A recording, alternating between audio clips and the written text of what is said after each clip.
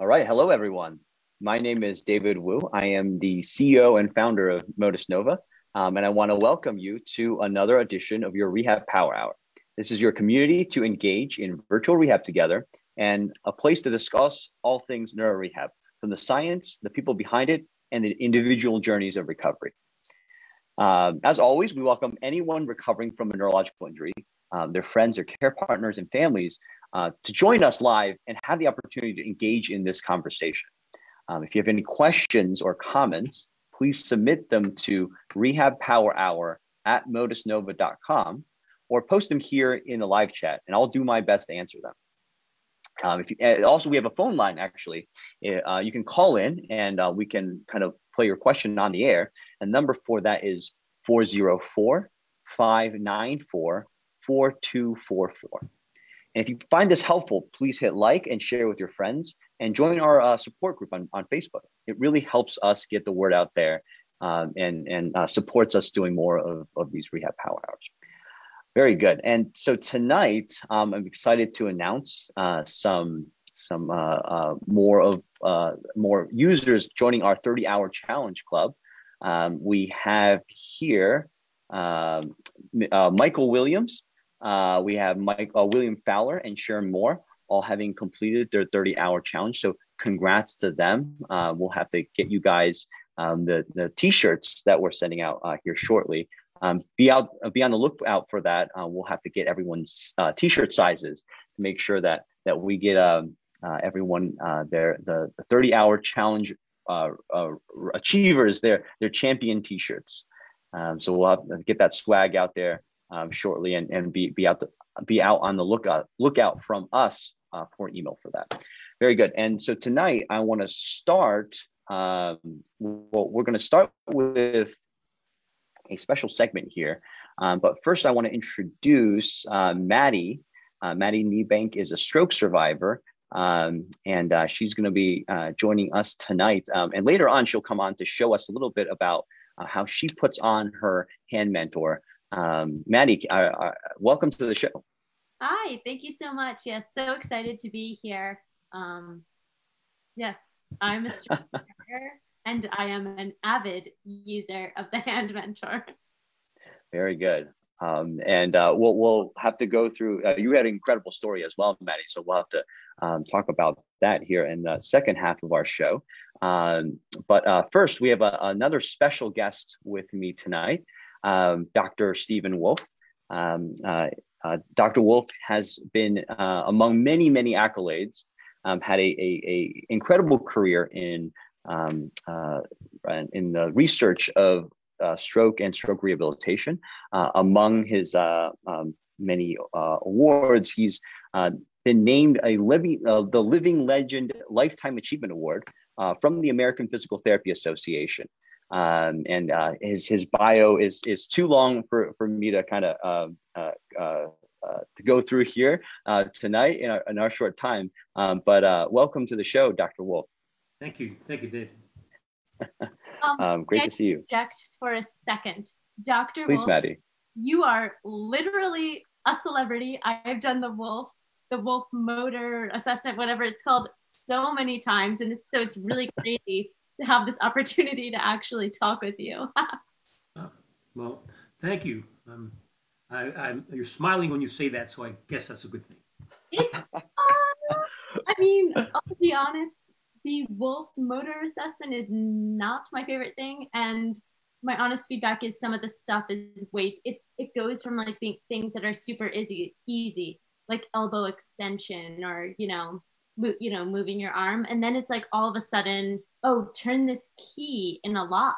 It's like, way too hard. Like I'm never gonna be able to do that. Yes, maybe I can like move, extend my elbow and do those things, but there's like I just wish that there were a couple more activities that were more that in well, well, well, well, I think that's something we're going to talk about tonight, Maddie. And and hey, never say never, right? Um, you know, never that's that's never. part that's that's part of our journey here. Um, you know, uh, that's something that we can't do today, maybe. Um, but uh, um, that's something that that certainly we want to work towards. And and yeah, so so Dr. Wolf, uh, welcome to the to the show and welcome back, I should say. Um, and uh, that's maybe something that we wanted to uh, uh, to talk to you tonight about um, the Wolf uh, Motor Function Test. Um, it's a it's an upper extremity uh, assessment for the, the, hand and the arm. And and tonight maybe we wanted to chat with you, um, you know, from from uh, um, uh, the uh, namesake from Dr. Wolf himself, um, kind of what led up to um, the the creation of this test, um, and uh, kind of uh, hearing from you, you know, what what it's what it's been, how how has it affected um, you think uh, uh, the way that uh, we kind of use this and we treat stroke survivors? Um, and and and uh, how yeah the impacts of, of, of, it. So maybe we can start at the beginning um, i know that we have we are chatting a little bit before the show about this um, uh, what what factors led up to you uh, creating a, a um, or thinking about even the beginnings of creating um, um, a new test Okay, well, thank you, David. And, and, Maddi, I appreciate your honesty. And perhaps some of what I'm about to say will make sense to you.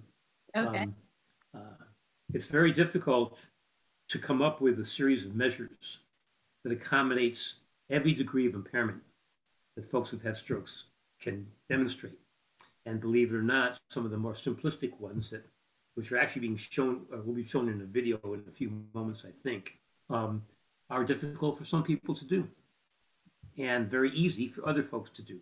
So these gradations of tests, measures, are designed to, to, to determine just what any stroke survivor can do and cannot do.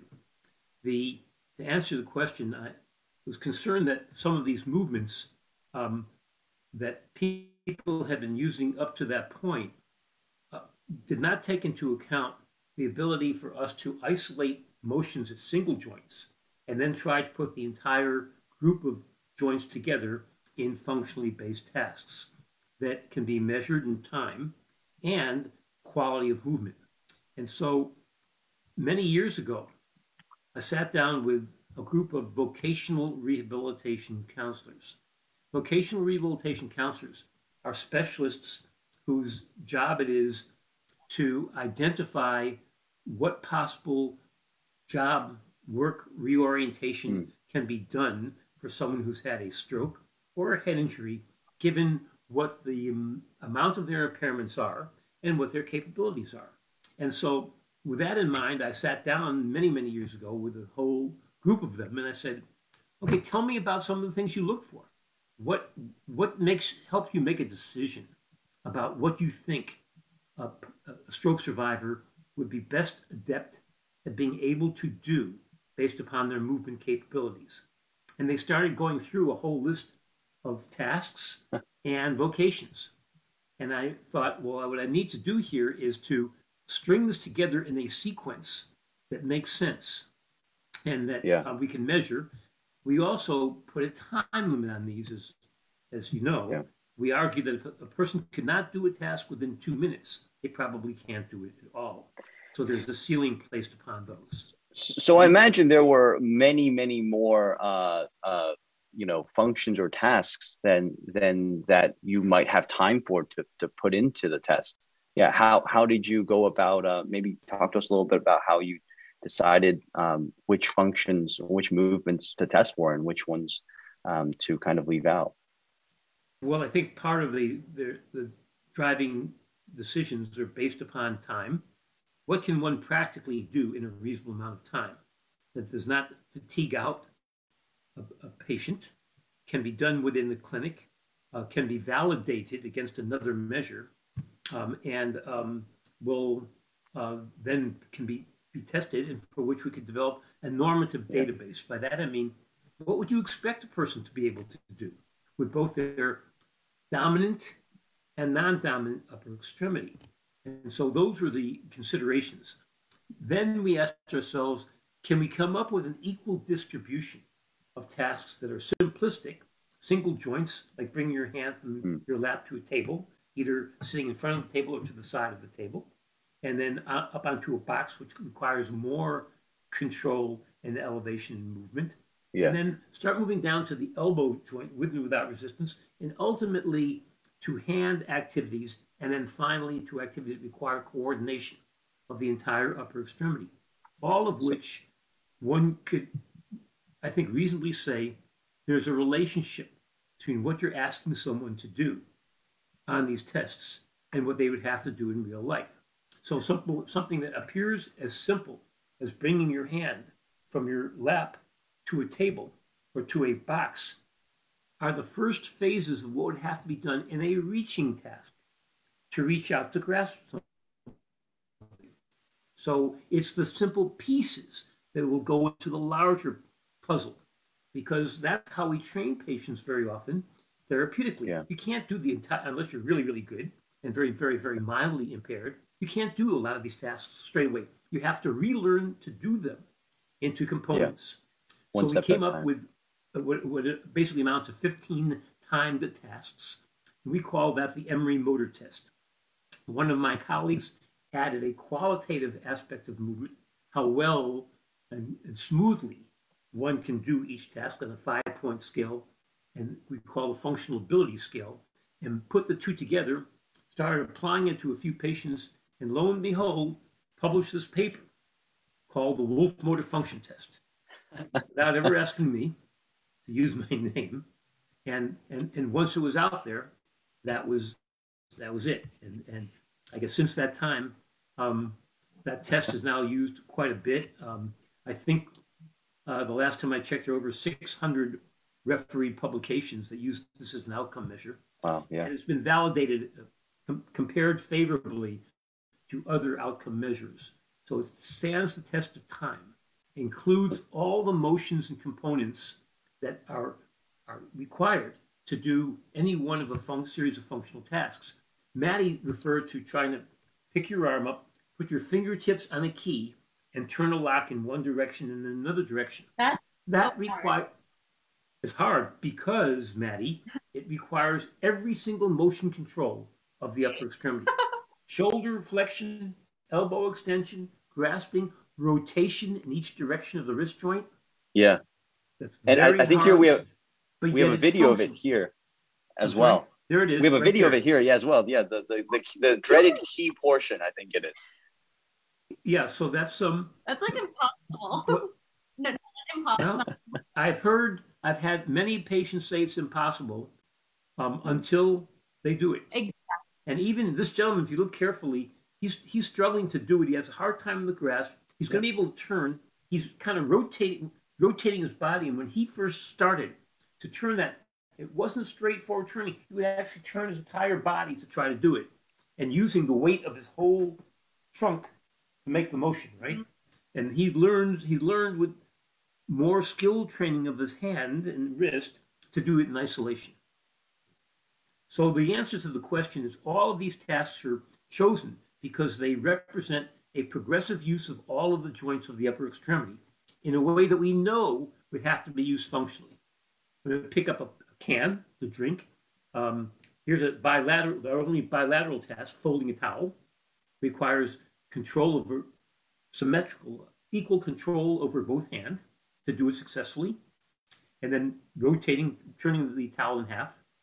He gets to do it one way with his more impaired right hand, and then another way with left. And that's hard for him, very hard for him to grasp.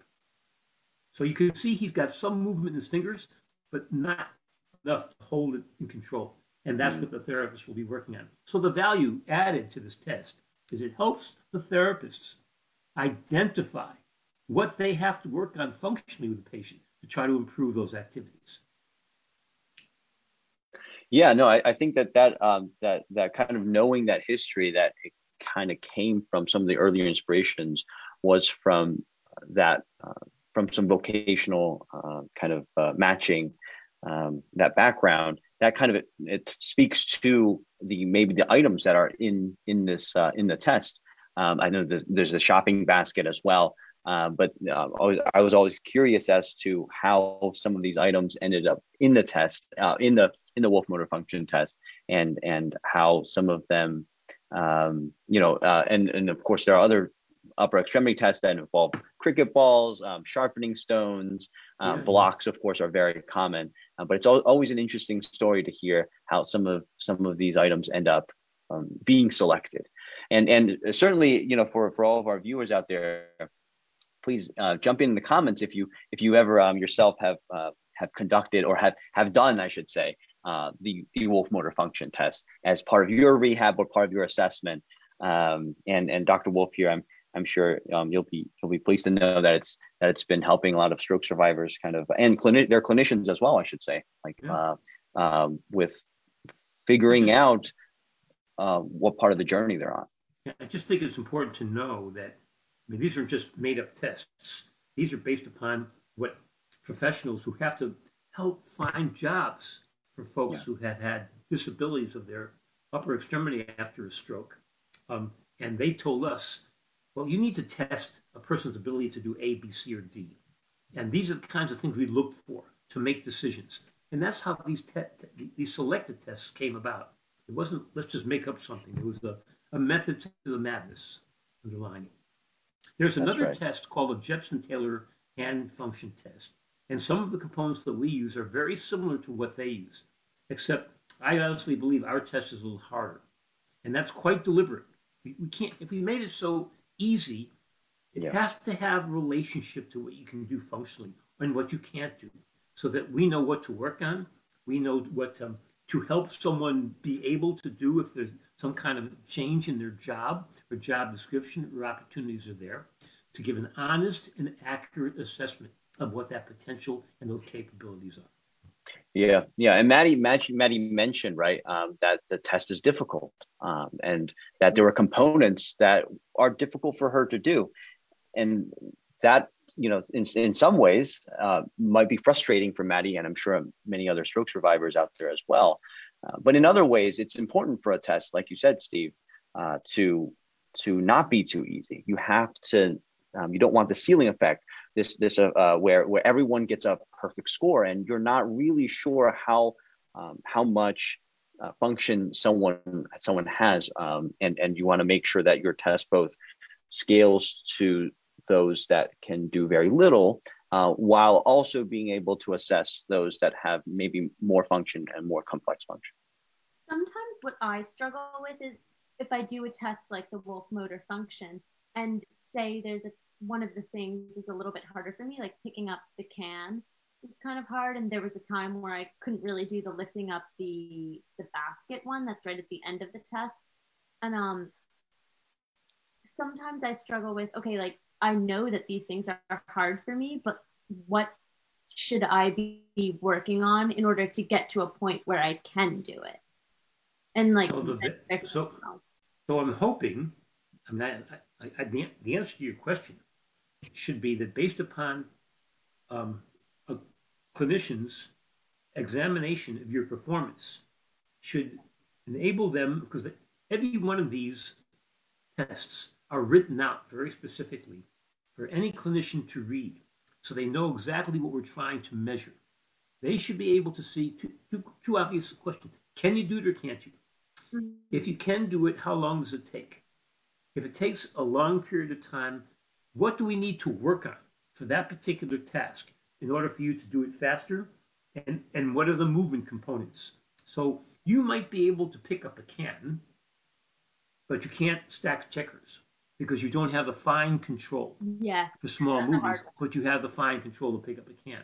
So that informs the therapist that they've got to work in, in on smaller objects and working on your control and thinking about strategies for how you can do something.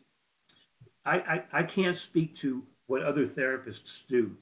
I can tell you that in our clinic, what we try not to do is to tell a patient how to do something.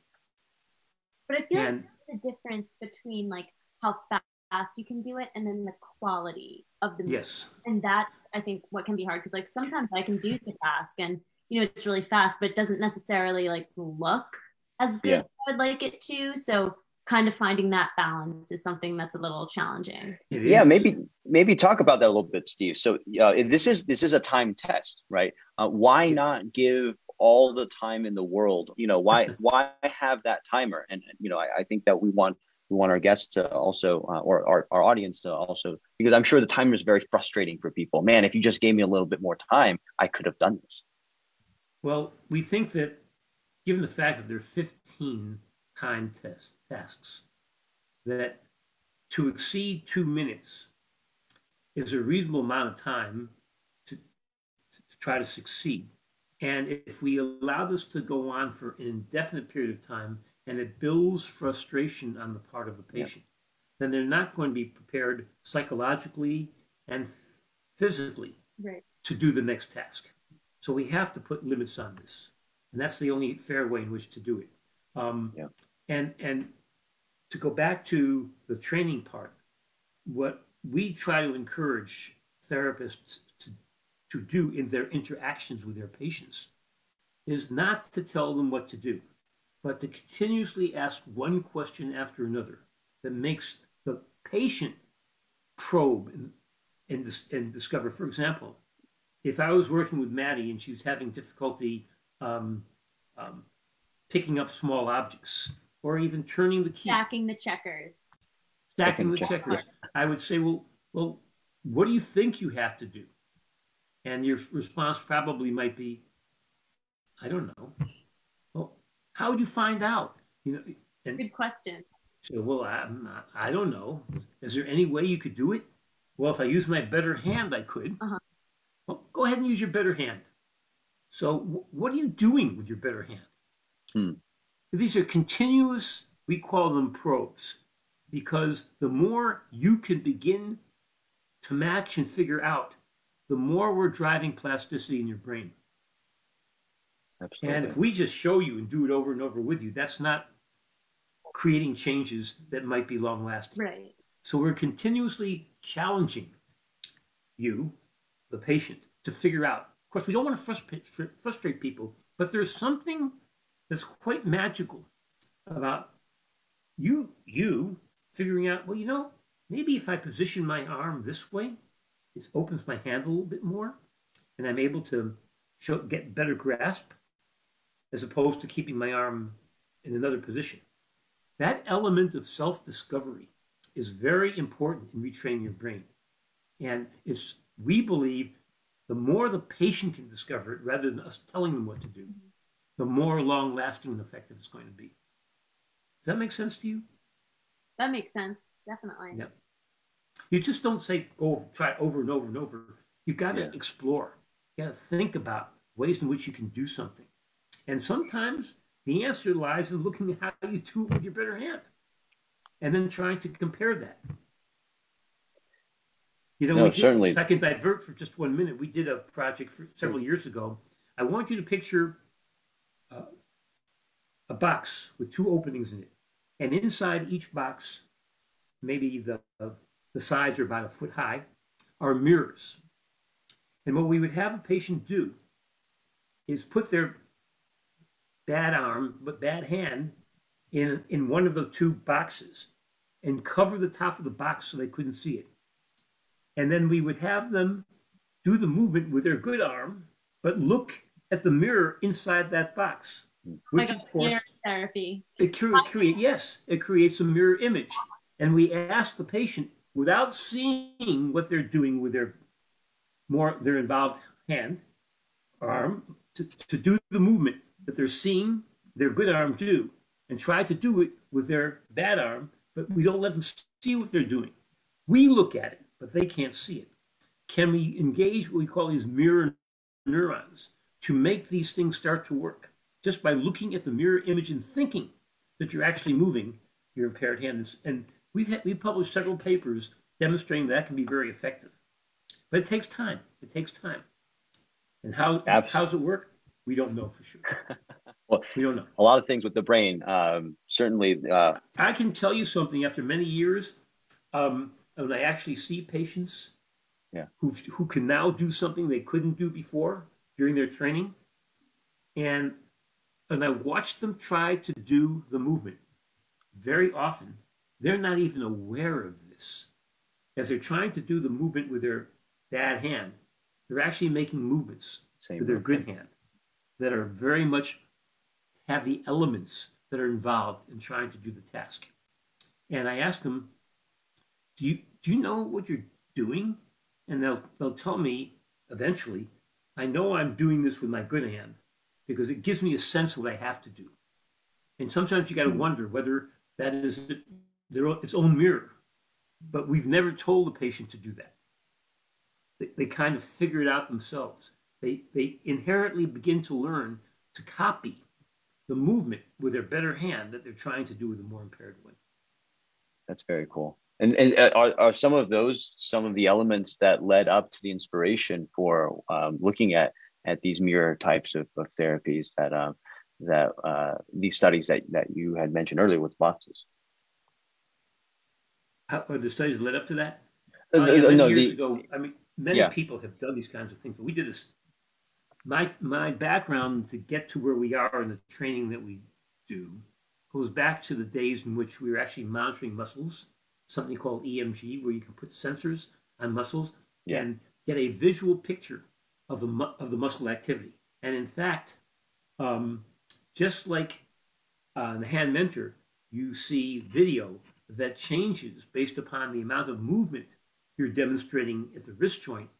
We had very simple back then lines that go up and down that are related not to the movement, but to the muscle activity. And we would train people to increase their muscle activity appropriately. And that's um, either to increase it if it was the weak muscle or to relax it if it was a spastic or hyperactive muscle. And from that, we um, learned who, who, who has had a chronic stroke, that means more than six months since the time of their stroke, who can learn to do this with this EMG biofeedback, this feedback of muscle activity in the form of sounds or pictures, a visualization. And it turns out the people who could do the best are folks who could begin to straighten out their elbow, begin to raise their wrist up, and begin to open up their hand. And I don't know if you've heard of this concept of constraint induced movement therapy, forcing someone to use. That's how the criteria for constraint induced movement therapy were born from our EMG biofeedback studies. We called it originally forced use, forcing the patient to use their impaired limb by immobilizing the better limb and adding some behavioral components. Uh, Edward Taub, my colleague at the University of Alabama, Birmingham, renamed it appropriately constraint-induced movement therapy. Yeah. So all this stuff is tied together. It's not like you know crazy things just happen. It's a history here. It goes back, geez, almost 35 or 40 years Dr. now. Wolf, I mean, longer than you've been alive. I'm sorry? I went to the Taub clinic. Did yeah, you? That, so it was so great. Good. That's where Maddi, yeah, did did uh, uh, your rehab or some of your rehab, right? Is that right, Maddi? Uh, at the outpatient clinic there, you did um, constraint induced movement yes. therapy. And I've had outpatient therapists who have who have followed your research and the research of Dr. Taub and made modified programs for me in an outpatient setting too. So well, great, very good. That's fantastic. And Steve, you know, um, I know we in the chat in, in, the past we've had a chance to chat a little bit about um, the uh, uh, your you know your involvement with the constrained induced movement therapy and and the trials that um, that you had uh, conducted. I hope that you know we can also kind of I know we looked at the trials themselves, but um, maybe we can also examine um, a little bit like today, kind of the the um, the how what led up to how how you you and and uh, your colleague uh, Dr. Taub. And this yeah uh, uh, work towards you know this is something that that um, uh, we want to do a big trial in and and um, really look at the, the effects of how did you decide how many hours a day to do and and all of these other factors. I'm sure there's a lot of thinking that went into um, not only the hours um, but what activities um, uh, were, were part of that that that uh, the the constraint movement therapy um, and certainly today we talked about kind of you know what um, what inclusion criteria led up to how um, for for whom um, maybe would be included in the study. But certainly, a lot, that would be a lot to talk to talk about. Uh, maybe another another show, another time. Uh, we have a, yeah. a, few questions I I'd like to uh, um, to get to as well here. Um, uh, we have one from Elizabeth and Rob. Um, can uh, can we talk about explain how the hand mentor benefits the fine motor skills in the fingers?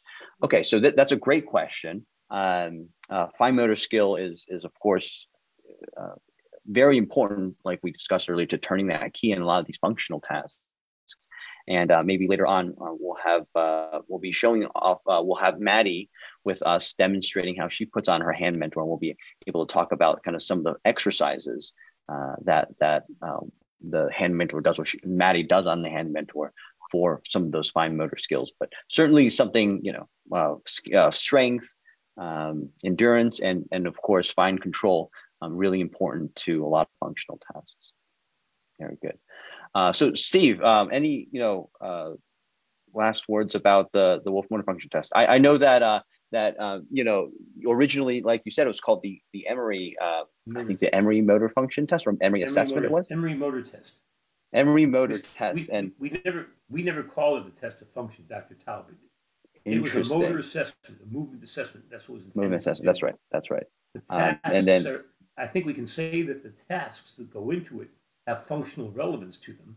Hmm. You need to be able to do those things to have have function, to be able to explore the environment you have to be able to control all of these right. things. But um, it was, as I said, initially intended to look at all the segments of the joints and put the whole thing together to make decisions about what people could and could not do, what parts of their upper extremity rehab required, uh, limitations required further rehab, and to try to demonstrate improvement. And the most important question that are, are asked of clinicians by third party payers and by patients and patient families well, if, what what will I be able to do that I can't do before? Right. Or can do better than I could do before? And we need to be able to answer that question in order to justify more treatment for our patients. That's simply a, a reality, and it's a fair question to ask. So, will there yeah. ever be another Wolf motor assessment? like a well, you know, so, what some people have done, Maddi, they've taken the first four or five tasks and have called it a modified Wolf motor function test because that's the one it just includes the elbow and the um, the wrist, uh, the elbow and the shoulder. Level and, one. And we said from the outset that the in order to complete the entire Wolf motor function test successfully, you need to have some of these isolated movements. Right. That, and and and it was really designed for folks who we would call mild to moderate stroke survivors. Mm-hmm. Uh, and is if someone has no hand movement whatsoever, it seems in their, many, many months post stroke, it's highly unlikely that they're going to be able to do those tasks with a Wolf motor function test. So someone was asking a question online about the relationship between hand mentor training and dexterity of movements in the digits. I think that was the nature of the question. Yeah, and yeah. Right now, the hand mentor is, is designed to increase the mobility of the wrist joint and by association, the fingers as well. So that you're hoping that as you can increase control of the wrist in movements, especially out of the bent position and towards what we call extension or hand opening, wrist bringing your wrist up, that you gain some more mobility in your fingers that Absolutely. will allow um, uh, greater t- uh, finite uh, movement and grasp and release. But the hand mentors that exist right now is not designed to look at isolated movements of individual joints in the hand. It's by association that one hopes that as you improve wrist movement, you improve finger movement as well. That's right, and and that that's why it's so important to to to do these um, um, these these tasks as well for clinicians to best understand. Um, you know, are these changes in strength, increases in dexterity? Are these uh, changes actually able to lead to functional improvements, uh, functional uh, tasks that can be done by the stroke survivor? Because at the end of the day, right, it's not um, the degrees of range of motion um, your hand has. It's uh, whether or not you can turn that key or whether or not you can fold that towel, and how much of your your um, independence in your life that um, we can we can get back. So certainly, eh, really important to look at um, and uh, uh, thank you, thank you, Dr. Wolf, Steve, for your for your contribution. Um, it certainly helped, I think, a lot of stroke survivors and a lot of clinicians better understand how to best best treat their their clients. That's thank what it's all about. It's, it's, it um, certainly um, helped me. Oh, that's that's nice to hear. It's that's why we do it, man. Yeah. And we and I should add that um, I and many of my colleagues are working on other approaches right now, um, and um, there's a very high level journal called Lancet. You know, we have the New England Journal of Medicine, we have um, uh, the journal called Stroke, and we have um, um, what else is the other um, the other big one? And and um, the Lancet is the British equivalent to our New, New England Journal of Medicine, and um, we are having a paper. We a group of twelve different centers in the United States and the UK have just have finished a, a study that was accepted for publication and will be out within the next two weeks, showing a whole new approach for folks who are more severely impaired to try to re- rewire their brains in a way that hasn't been done before. So I just want you to and others to know we continuously work on novel ways in which we could try to trick the nervous system into working better. And it is it's a challenge, as you might imagine. It's a big challenge. That's well, that's that's that's very cool, Steve. Uh, very uh, thank you for um, that. You know, certainly all the work you put in, and and if I understand correctly, you run one of these twelve centers that's involved in this um, this publication, Lancet. Is that correct? Yes. Um, as part of your your current uh, your current work. Well, we'd love to have you back at some point to to to, to chat about that. Um, that I'm sure that that will be extremely exciting as well. Um, and uh, uh, you know, always always happy for you to to chat both on you know your your uh, uh, quite full history um, uh, with uh, uh, stroke rehab and and um, all the the various kind of uh, the journeys that that and all the advances that we've made in the past few decades um, in, in stroke rehab from from you and, and your colleagues and certainly for that we, we have a lot to thank uh, for your contributions and um, among among those, and of course, all your contributions to the hand mentor as well, um, and the science behind it, um, so that you know for all of our users, you know, you're all benefiting from from all of the research that that Steve has um, done here, and uh, uh, we we for that we thank you very much. Oh, my pleasure. so, do you want me to stick around for a while, or would you like me to? Leave? Or? Yeah, so well, feel free to stick around, Steve. Um, so I think next we're gonna uh, well um, go to Maddi here, we're going to have a, uh, she's going to show us how she puts on the hand mentor. We have a lot of questions from our users um, about what's the best way to put on hand mentor, maybe some alternate, alter, alternative ways. Um, and so Maddi's had the hand mentor for, I think, uh, six, seven months now. Is that right, Maddi? Um, yeah, I think I've been, I've been starting it since June of last year. So. Okay. Yeah. Yeah. Um, that's, whew, uh, what eight eight or nine months. Um, and I, I, know you took a little break recently to um, uh, drop down uh, to the was it the Virgin Islands? Yes, the, the, British Virgin. the British break, but you know I did other types of therapy, like I swam in the ocean. I'd never done that before since my injury, so That's still incredible. finding creative ways to engage my left side. Yeah, and we saw the you you post your videos about doing your exercises uh, while while you're out there. So uh, always great to you know looking for ways to to do rehab no matter where you are. Very good. Uh, but right before we get to that, Maddi, we have a few questions. And, and Steve, feel free to stick around. Um, but you know, thank you for your time. Well, we certainly I, appreciate if it. If I leave in a little while, don't. I'm not being rude. I just no, no, absolutely. Thank you for joining us, um, and we'll we'll have to have you back. And um, you know, always love these discussions. Okay, uh, so okay, Dr. Wolf. Good luck, Maddi. Thank you so much. Okay, so we have a question here from from Bob in the chat. Uh, Bob, how do you define a repetition in the Motus reports? So that's a great question, Bob. So mm-hmm. you know, um, there's a lot of ways to define repetition. Uh, but you know, we've gone through with our engineers and looking at the, the movement data that we get off of the, the hand mentor, the foot mentor, we define uh, a repetition as um, an activity dependent uh, as either two or three sign changes of velocity and movement. So what, what does that what does that really mean? Um, so sign changes in velocity. So here we're going into extension. Here we're going to flexion. Um, and when we when we shift from going extension into flexion or from flexion back into extension, that's a sign change. Um, the direction of the movement has changed. So either two or three sign changes. So if we go up, back down, and then back up, uh, that would be two sign changes.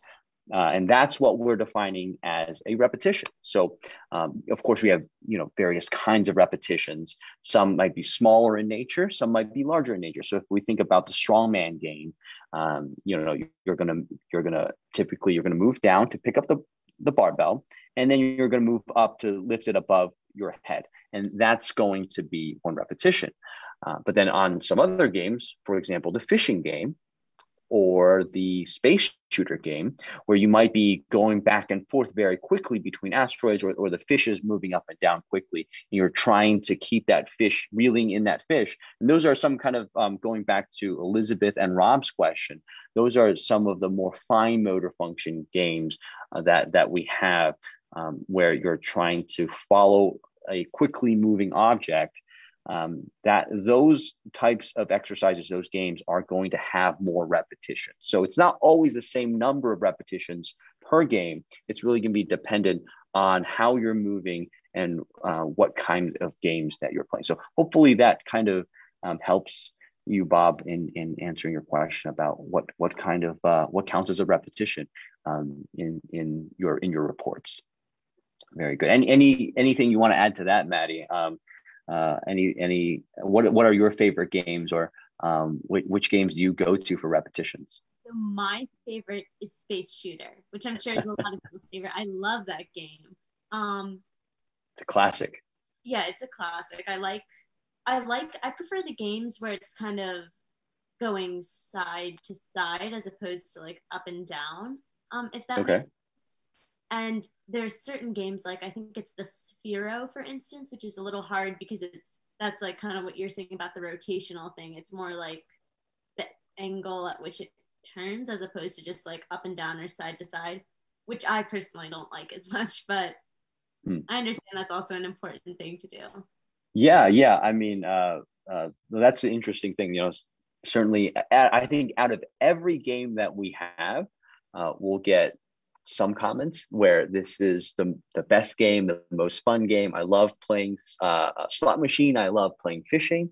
And then it, it's not even the next day. You know, sometimes uh, we'll talk to uh, another one of our users um, later in the day, and they'll ask, "Oh, you know, get get fishing off of my my my uh, my list. I I can't stand fishing, or it's you know, or, or that. And it could be it's with every game. So I think that really goes to show um, to our to our game designers um, uh, the challenge that they have to go to uh, sometimes to to get the games that that people want to play. Uh, but certainly, you know, please let us know. We always love feedback about what kind of games you want to see, uh, what game kind of games that we can add. Really, and whatever we can do. Um, like like Steve said, you know, we're at your service. Whatever we can do to help get more repetitions. Um, that's that's what uh that's you know that's really our what what, what we uh our goal at the end of the day. So uh, please let us help you and, and, let us know what you like. Uh, very good. So, okay. So Maddi, now uh, uh we have a, a, a, session with you uh, about how to put on the hand mentor. So where, where do you want to start? Oh, sure. Yeah. Let me, I'm just going to flip my camera over here around so I can show everyone here as well. So the hand mentor is definitely, you're able to put it on. This is what it looks like. You can definitely put it on if you only have really use of one hand and I do it on my own every single day and it took me a little bit of practice but it's actually not too challenging. So first you have this like um can you see this little like uh, pad thing that comes down from your hand mentor so I always make sure when I start that that is off completely and then I'm I'm left side affected so I use my right hand to kind of pick it up and I start to like put my hand on this pad right here and it needs to be adjusted. Once I kind of get it on, then I stretch with my right hand, I'll stretch my fingers to be down and then flip the Velcro pad over. And then I strap it in nice and tight. Um, sorry. There we go. So then this part is done, and you have this second strap, this black one that goes kind of around. So then with my unaffected hand, I I well, I'm straightening out my arm and then I strap it in these black straps. And then it's on. It's actually, I mean, it took a, it took me a little bit of practice to be able to do it, but you know, after I put it on hundreds of times now, so now I can do it nice and easy. But it uh, definitely took a little bit of practice, but it is something that you can do even if you don't have any use of your one arm. So yeah, you were you were able to put it on right there, um, just using your your right side, um, and and that's uh, really part of you know that's certainly an engineering challenge. I think with the original design of the hand mentor, how um, how would we be able to design a device that uh, we can have someone put on with just uh, one side, uh, with either the left or the right arm? Uh, because many stroke survivors have difficulty with uh, movement on one side, and uh, we didn't want that to be a limiting factor in um, putting on the hand mentor or, or the foot mentor in that case. Um, you know, it it's something certainly different if it can be put on independently rather than you having to wait for someone to, who who can help you put it on in order to start start your rehab every day. So it, that took you. How long does it typically take you? Uh, to put it on to, to put on hand yeah to put on the hand mentor maybe yeah how long does how long does it typically take sorry i didn't quite oh sorry maybe you didn't hear me. Like probably about like 20 to 30 seconds. I'm pretty fast okay. now. So so uh, what what do you think how long do you think it took you maybe the first few times? This is back you're gonna have to think back in Minutes. back in june or july yeah.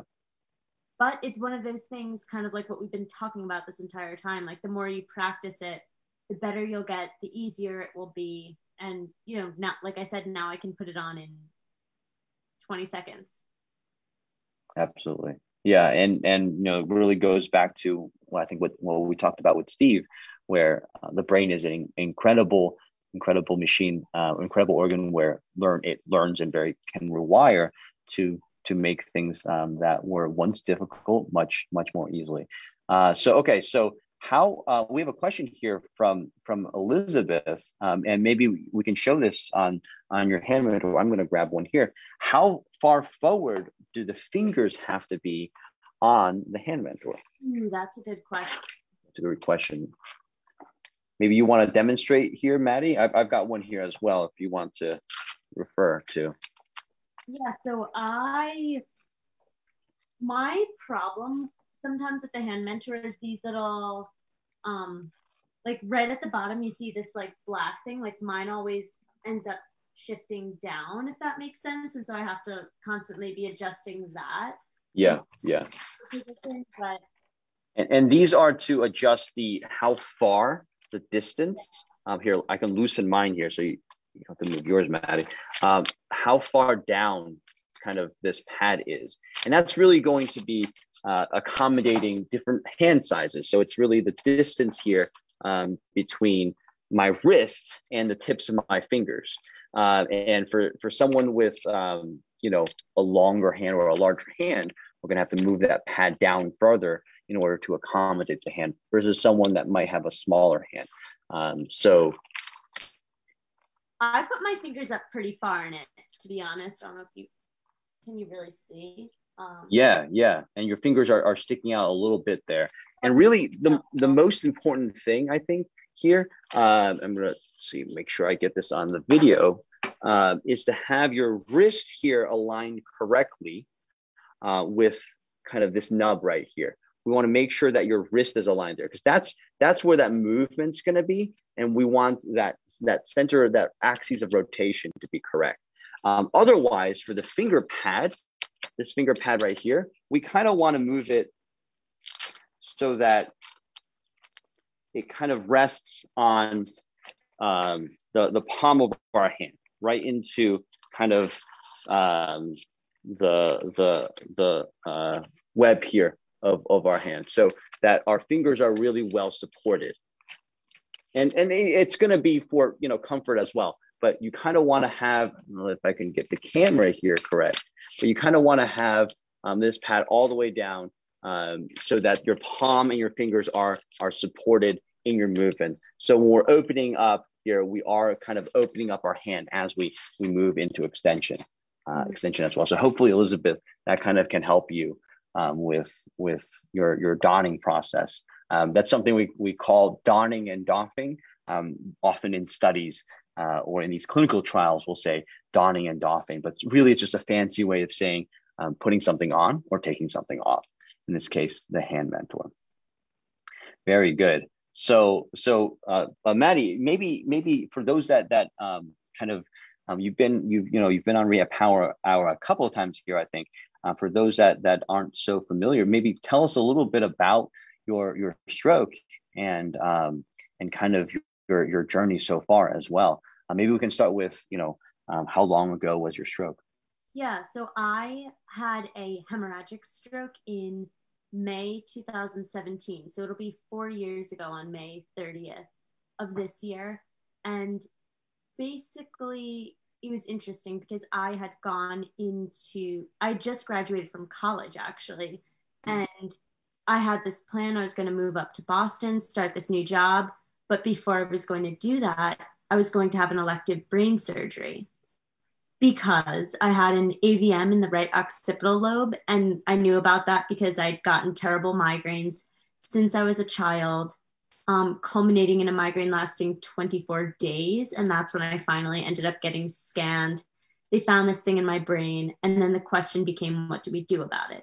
So, after many consultations with many neurosurgeons, eventually I decided to get surgery after I um, excuse me, graduated from college because I didn't like the idea of having a ticking time bomb in my head. So I went in for the surgery. My AVM was so big that they had to do an embolization and an angiogram to kind of shrink it down so it was small enough for the um, doctor to operate on. And from the preoperative procedures, I got a blood clot, which burst, causing me to have a massive stroke. Thank God I was in the hospital. I was rushed into an emergency surgery, had like seven and a half liters of blood transfusion. Wow. And it was like a 10 hour surgery. I wake up after a coma and I'm completely paralyzed on the left side.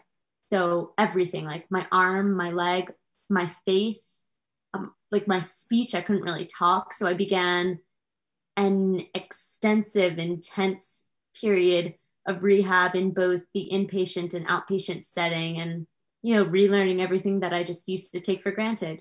Walking using my hand and i'm left-handed. So I, that's why it matters to me even more that i get my left side back because it's my dominant side.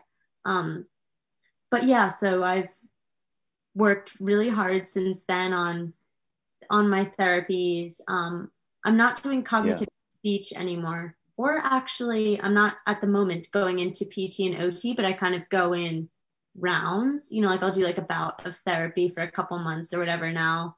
Um, but i was in all of those therapies three days a week for um, a year and a half of my life. And then it started kind of like alternating because i also started working full time at that point. So you know yeah. Of realizing how to how I want to prioritize all the like hundreds of things in my life that I want to do. And I realized maybe it's time I take a little bit of a break from just rehab 24 7 and shift to other things. Like I wrote a book, uh, I wrote two books actually. Um, and you know working and trying to test myself in these other capacities that were important to me so yeah. that's fantastic yeah and and um you know, you you've certainly had quite the journey here, um, and and seven liters of blood, seven and a half liters was it? Yeah, is seven and a half.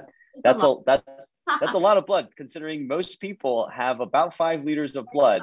Um, yeah, uh, getting a transfusion.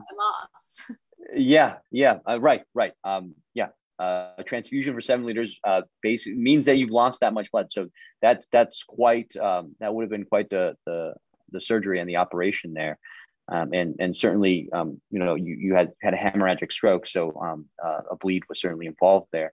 Um, and uh, it, it, seems like they're, you know, the blood vessels that that infuse that that um, support the brain. Certainly, they have they can have a lot of volume, and it's important that we keep our our brain well infused, uh, uh, well oxygenated, I should say, uh, maybe. and uh, uh, that unfortunately, when blood vessels burst, um, that can also have the effect of um, certainly a lot of um, a lot of blood, and that and blood outside of blood vessels in the brain um, definitely not good. Um, um, can do a lot of damage to the brain, and and for hemorrhagic stroke, certainly that's um, that's that's something that um, a lot of our stroke survivors that we have and many stroke survivors around the world are are recovering from. So you you said that right after your stroke, you had um, you know you were coming out of a coma, I think it was, and had very little movement and speech. So how how quickly did some of those things or maybe how slowly did some of those things start coming back for you was it something where you know in the first few days there was a lot of gains or was it something that you know that took weeks or months for you to kind of see some of those those back because right right now right your your speech is is fantastic and you've made quite a big journey. The speech that all came back pretty quickly but like it definitely took a couple weeks like learning how to swallow you know and yep. eat and talk and all that stuff took a couple of weeks. What took way longer for me was the physical things like learning to walk doing things with my arm and my hand. That stuff was all a lot slower to come back for me more so my arm than my leg but all of that was much slower for me than the cognitive things and the speech. So in that sense i guess i was lucky. Yeah, yeah, absolutely. Um, and you uh, you did inpatient rehab probably for um, maybe a couple months, was it, or maybe maybe a few weeks, depending on how long you stayed in the hospital. Yeah, I was 15 days in the ICU, and then I was like two months basically in inpatient, and then a year and a half outpatient. Okay. Okay. Yeah. Um, so uh, certainly in, in inpatient, you were getting a lot more rehab, right? Uh, typically, a lot of you know a lot of people, a lot of users, a lot of stroke survivors, um, they'll get something like two or three hours a day of rehab. Um, does that kind of match what what you had in, in inpatient? Definitely. So um, you know, and we we always talk about how more hours uh, more repetitions. That's really what drives the neuroplasticity, the recovery. Uh, the brain having to have lots of practice, lots of repetitions in order to uh, make those new connections to, to rewire around um, uh, maybe some some injuries or some some previously broken connections, um, and getting that two or three hours a day equates to something like 10, 15 hours a week. Um, but then when you went home and you shifted to, to outpatient, how many sessions do you think you were doing um, every every week? Yeah, I was going into outpatient therapy two to three days a week, and that would be you know one one to two hours depending. When I was doing cognitive, it would be longer. So okay, be like a full day, like six hours or something. But wow, yeah, yeah. So one or two hours a day. So um, that and that's always a you know that's something we see a lot um, with with a lot of stroke survivors while in the hospital they're getting something like 10 15 hours a week and then um, they go to outpatient they go home it's always great to go home right? No one wants to stay in the hospital. But at the same time you know while in the hospital you have all these experts all these clinicians kind of um, at your beck and call. They're, they're they're coming to see you all the time. You're not having to go anywhere. Um, but then once you go home, um, there's kind of this inverse relationship with um, having, you know, uh, not having to be stuck in a hospital, but also getting having a much more limited access to rehab and going from kind of um, two or three hours a day, sometimes to two or three hours a week, um, and and that that that drop off being um, and you know we know that more hours lead to more recovery as well as more repetitions. Um, and that uh, kind of when people go home, um, kind of strangely with getting less rehab, a lot of their progress slows down. Um, and so, so there's um, kind of this thinking that all the gains that you're going to make from stroke, I should say, some people say, right? Um, uh, we've heard this from some uh, users. We even hear this from some clinicians, um, and this is just from their experience. All of the gains you're going to get from uh, recovering from a stroke are going to be made in the first few weeks and first few months, uh, right after your injury. Um, but that's also when you're getting the all that rehab. Um, once you leave the hospital and you get a lot less rehab, it does make sense that a lot of um, recovery journeys slow down there as well. And and certainly, Maddi, in, in your case, and and many other, you know, a lot of the other stroke survivors that we know that we encounter, several years after a stroke, they don't stop working at it. They keep um, going and getting their rehab. And it's not always the same type, and they're not always going to COT and PT. Um, sometimes they have modified programs. For you, you've uh, gotten a lot of hours of rehab on on the hand mentor, and and that's really um, kind of uh, made up for um, the the lost hours that uh, you, you know that um, that loss when you go home and the limited hours that you have of rehab um, having those more hours uh, over over time has has continued to give you gains and continues to, to give you recovery. So um, I know that that uh, you know with some of our, our previous guests, we talk about how many hours that they have on hand mentor. So Maddi, how many how many hours are you at on on your hand mentor? At least 230.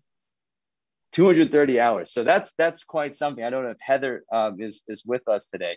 Um, she's, uh, um, I think, been uh, a, a, rock star from a recent, um, a recent rehab power. She's she might be coming after you, Maddi. She's she's doing uh, from, if I can recall, she said she was.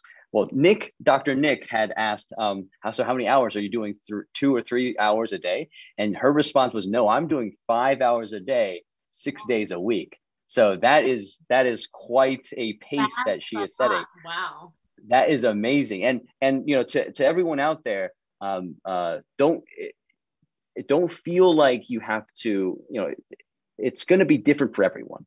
Um, exactly. We have, I think, we had somebody, um, a, a guest from last Power Hour that um, that was doing something like 45 minutes a day, and they were looking to get to an hour. And but at 45 minutes, they were feeling fatigue, and they were feeling, you know, really feeling that the exercises. Um, but and that's okay. That's okay. You know, that's that feeling that fatigue, feeling that exercise, uh, feeling the the pain, as we say, um, some pain, I should say. That's uh, that's means you're working out. That means you're working hard. Um, we don't want too much pain. That's always you know something that Dr. Nick talks about. Um, but you know, over time, uh, you you will start at uh, 30 minutes, 40 minutes, and we see a lot of stroke survivors able to work um, into those higher numbers uh, as they build their endurance, as they build their their rehab. So um, so yeah, what uh, what how how what what did you start with, Maddi? Um, I know that that you you've worked with Dr. Nick for some time now as well. How how long did you start off with some of your first sessions? So in the beginning, I remember I actually remember the very first time I used the hand mentor. I had a session for like 80 minutes, whatever. I could only do 10 before I had to take a break. And I really, really had to build up my stamina and my endurance to a point where I was able to do longer workouts and get to 30 minutes in one sitting, 60 minutes in one sitting. So it just took a lot of a lot of time to get to that point. So absolutely, anyone listening, like any workout is a good workout. Like even if you only do five minutes or 20 minutes, like that's amazing.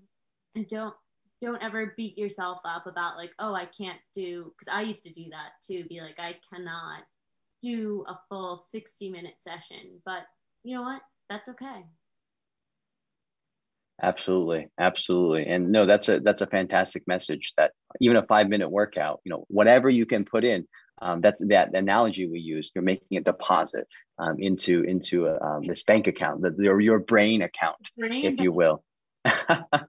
and um, you know, over time, um, and, and like like Stacy has said here in the chat, let's prove those doctors and therapists wrong. You know, um, you know, we we have people that say, um, you know, oh, so and so is not going to make much more gains. So and so's, um, you know, we, we, I, I see a lot of patients. I see patients all the time, and and uh, for someone that's in this state, um, you know, the outcome is not so good.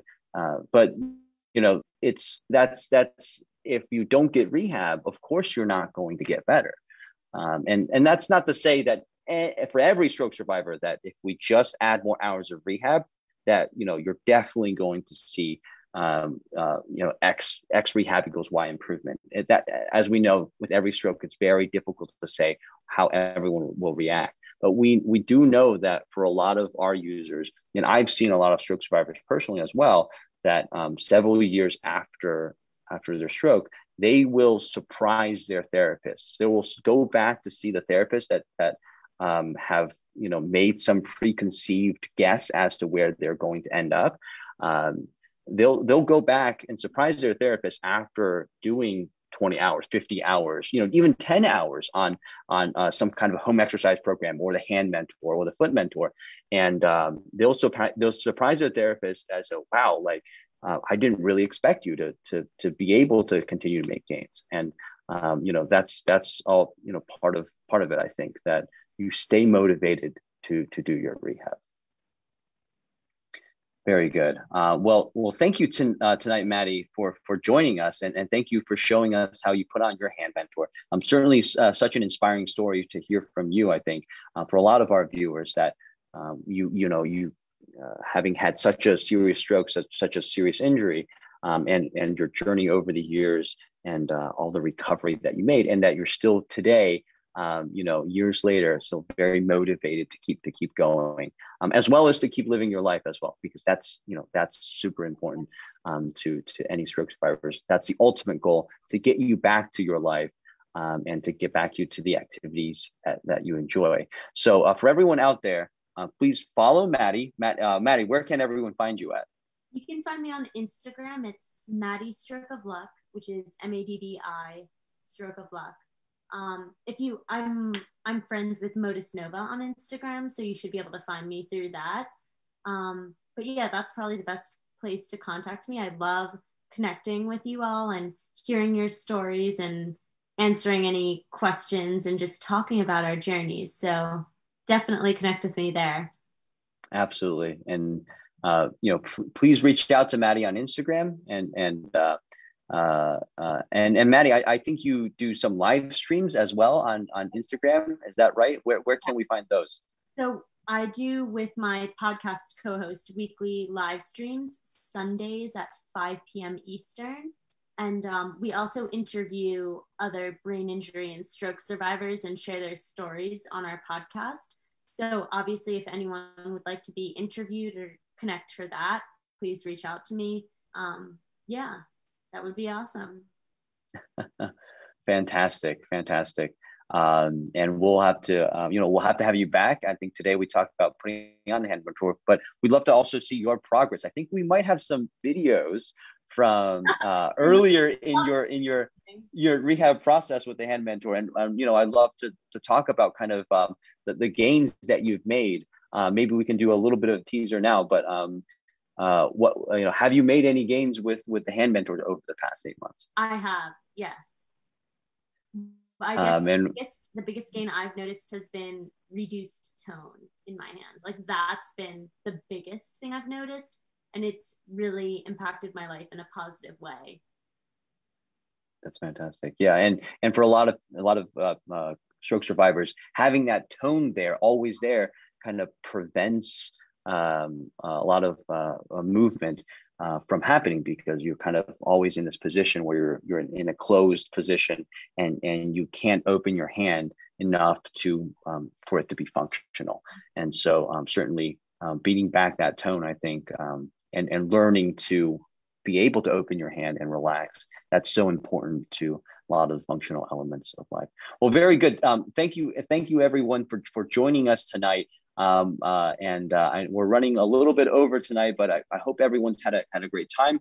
Um, it was great to have uh, Steve, had Dr. Wolf on. Um, you know, what we're, going to have him back. Um, uh, Dr. Wolf is, you know, such an incredible researcher. He had such a, a career in, in stroke rehab, having worked with some of the biggest names in in um, in stroke rehab. And uh, I think um, you know we've had him on in the past as well with um, and and I think t- today when we were setting up for the show, uh, Maddi was like, "Oh, this this is the Wolf motor function test, uh, Dr. Wolf," and that that kind of I I I I heard that that oh. click there. Uh, but you know we, that it's it's funny because um you know we we always refer to him as Dr. Wolf uh, as to Steve. Um, but yeah, um, many uh, many I think um, he's been the the inventor for this test that many of of the stroke survivors I've taken. I've con- personally conducted the Wolf motor function test many, many times, and um, certainly uh, a blast to, to have him on and and hear his perspective. absolutely, absolutely. Well, very good. Yeah, yeah, no, absolutely. Well, um, thank you, Maddi, for for coming on, and we'll have to have you back as well. Um, thanks to everyone for joining us, and uh, we're signing out tonight. Um, and remember, uh, always do your rehab. Uh, rehab hours equals recovery. Very good. Exactly. good night. Good night.